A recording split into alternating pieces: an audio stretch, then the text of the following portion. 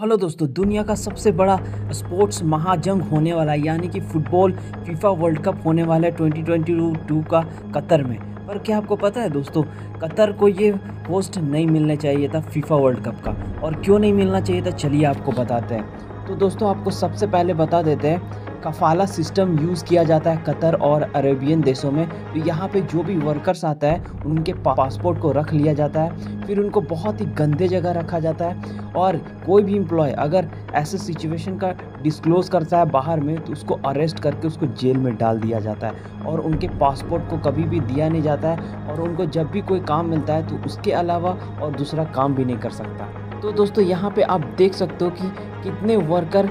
Qatar में जान गवाए हैं तो यहाँ पे कतर का यहाँ पे देख सकते हो कितना ज़्यादा जनसंख्या है और यहाँ पे देख सकते हो लंदन में सिर्फ एक इंसान मरा था 2012 वहाँ पे ऐसे ट्रीट किया जाता है वर्कर को जैसे वो जानवर